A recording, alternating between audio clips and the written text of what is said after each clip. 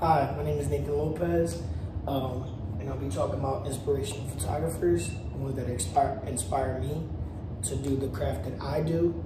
Um, yeah, let's get started.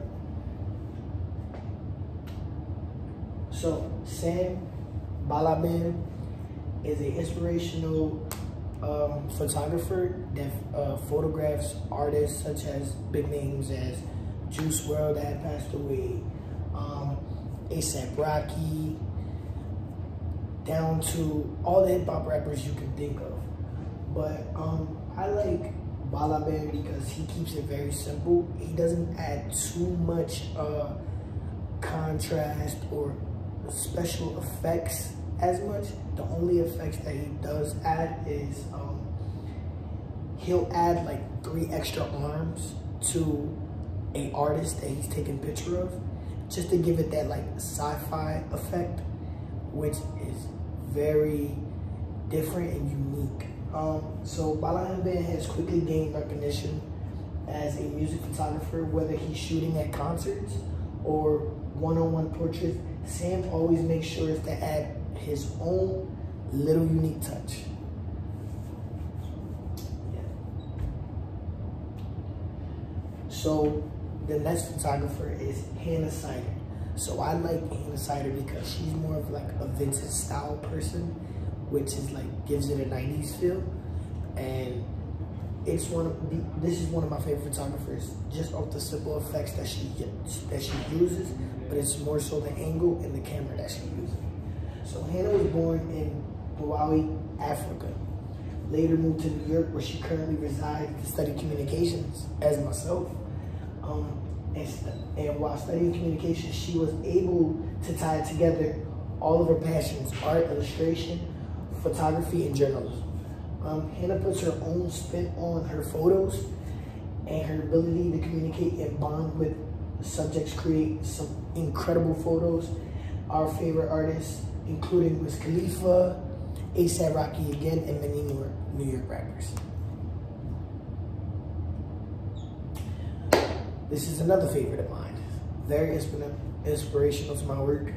Um, David Wang. So David Wang is an inspiring filmmaker and photographer.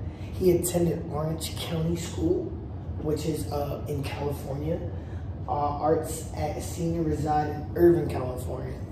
Um, he is not afraid to cross new boundaries, exploring new ways to express his creativity, ideas, and expressions through the medium of film and photography.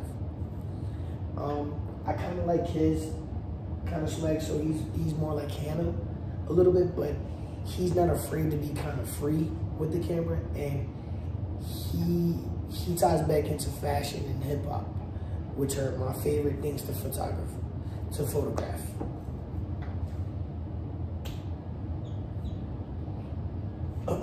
Kenneth Cappello, so he is extraordinary.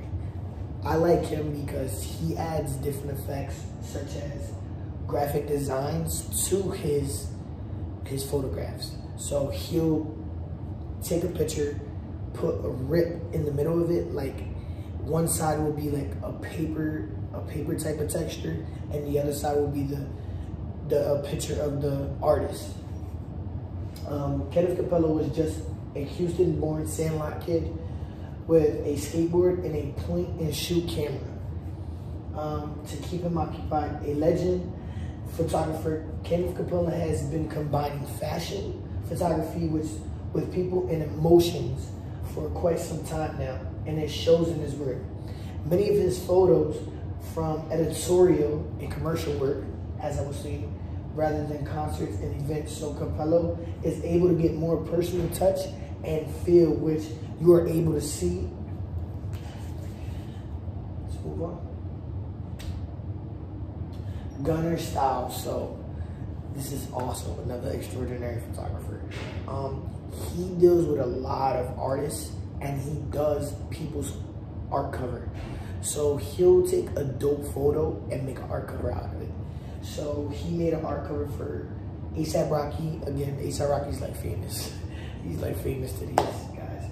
Um, and also uh, Playboi Carti. So if you can see Playboi Carti's uh, his tape is on his tape his his mixtape is on there, and he uh Gunner took the photo for his album cover, and his album cover has probably have went gold, so it's pretty decent.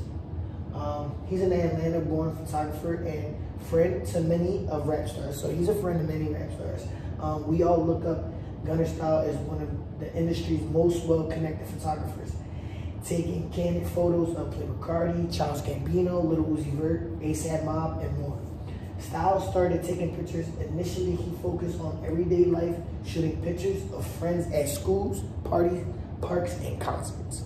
So that's how he made a name for himself. I mean, his work speaks for itself.